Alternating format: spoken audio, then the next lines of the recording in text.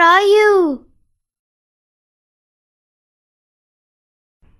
What happened, Mohan? Look, Mom, I have another tooth broken. In the past few months, I have lost three teeth.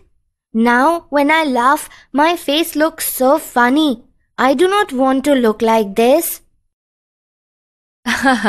Mohan, these are your milk teeth. After some time, you will get new and permanent teeth in place of your broken teeth. Friends, like Mohan, you must have also lost your milk teeth and got your new permanent teeth. You know that teeth are an important part of our body. They help us to chew and eat our food. They also help us to speak clearly. Do you know that a kid can have maximum 20 milk teeth? However, when he grows up, he will have maximum 32 permanent teeth. Let us learn more about our teeth. When you look at your teeth in the mirror, you will notice that the teeth in your mouth are of different shapes and sizes.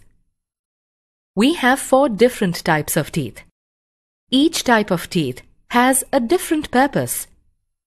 Cut, tear, grind, and chew.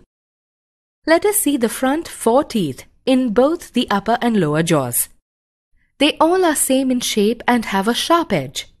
They work like scissors to bite or cut food into small pieces. Hence they are called incisors. Look at the sharp pointed teeth located on both sides of incisors on each jaw.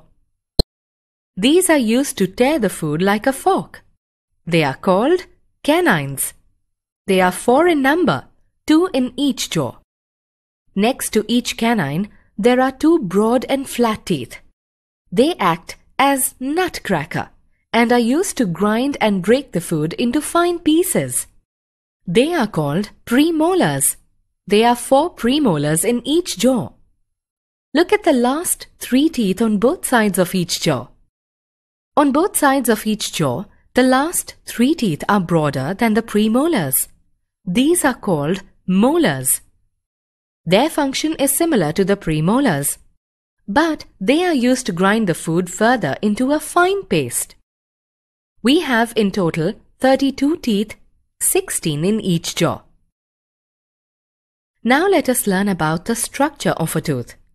The body of a tooth is divided into two parts. The upper part is called crown, while the lower part is called root. The root is fixed in jaw and is hidden. The crown is made up of enamel, which is the hardest material in our body. Below the enamel, there is a bone-like material called cementum or dentine. Cementum helps to fix each jaw firmly into the jawbone. The center of the tooth is known as pulp. The root portion of each tooth is surrounded by the gums that also cover the jawbone. The pulp and gums have blood vessels and nerves.